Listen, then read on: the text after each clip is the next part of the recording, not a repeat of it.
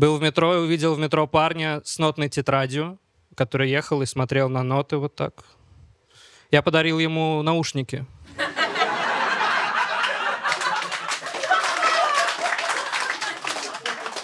Он представлял музыку слишком громко. Всегда ношу с собой зонтик на всякий случай. Вдруг начнется мюзикл.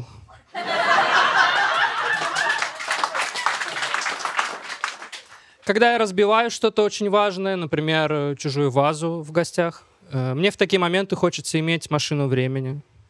Я бы переместился в то время, где мне уже плевать. Но моя учительница по физике объяснила мне, что я не смогу перемещаться во времени. Она так и сказала, у тебя нет будущего.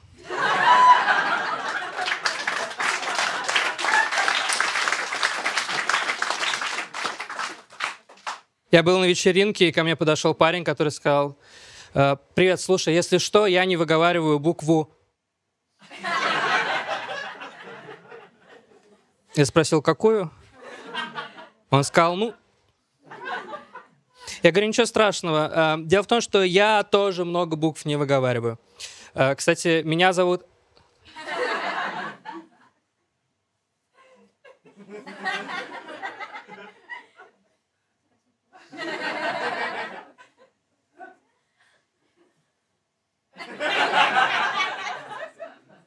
Вячеславович. Я делаю вечеринки лучше, потому что обычно прихожу на них с гитарой. На таких вечеринках не умолкают разговоры, потому что никто не хочет, чтобы я начинал играть.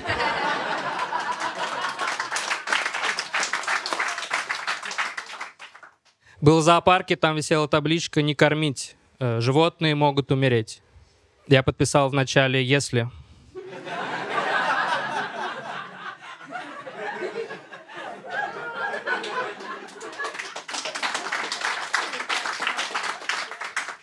Был на гонках ретро-автомобилей. Э, Это называлось э, «Скачки».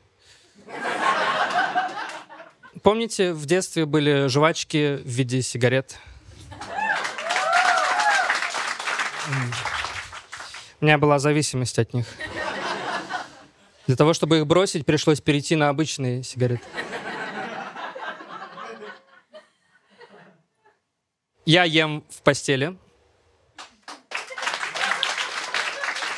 Это плохо. Э, Не ешьте в постели. Но я делаю это сидя на пледе, так что чисто технически это уже пикник. Люблю шоколад, стараюсь есть только воздушный шоколад. На случай, если уроню, у меня будет больше времени, чтобы поймать.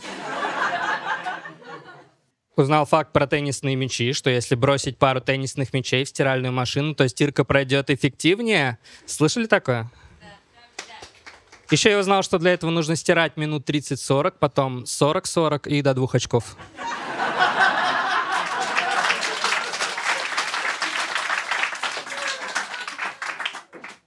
Ам, Видели в футболе э, разметка в центре поля в виде буквы F? Это означает футбол. Я был на митинге, и мы гуляли э, по кругу по часовой стрелке.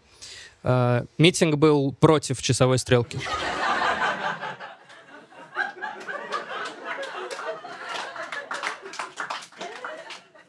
Мой отец построил дом из э, ворованных кирпичей. Через какое-то время пришли какие-то люди и сказали, да, это именно то, что мы и задумывали, только в другом месте. Мне отец в детстве угрожал ремнем. Он говорил, будешь плохо себя вести, вот что тебя ждет. Я вырос и реально начал носить ремень. Сделал татуировку. Мне мать сказала, это на всю жизнь. Я не знал, как ее успокоить, поэтому ответил, я не собираюсь жить всю жизнь.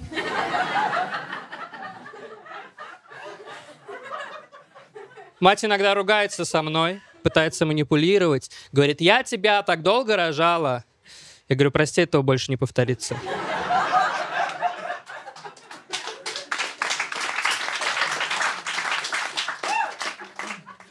Порезался об лист бумаги, э, подумал, блин, это же настоящее холодное оружие. Теперь всегда ношу с собой лист бумаги для самообороны. Лист бумаги с нарисованным на нем ножом. Но никому не советую, потому что недавно меня не пустили на борт бумажного самолетика. Заказал доставку цветов курьером, э, попросил привезти пораньше. Он привез семена.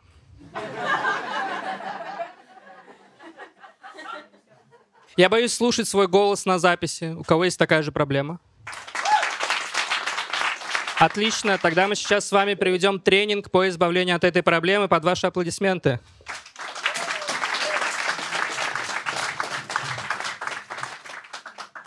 Я боюсь слушать свой голос на записи, потому что слышу то, что не говорил. Я боюсь слушать свой голос на записи, потому что слышу то, что не говорил. Понимаете, о чем я? Я не говорил этого. Я... Ну, как вам шутка? Это нормально?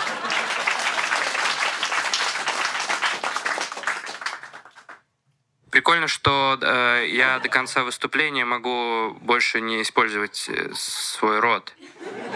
Э, так, что там дальше?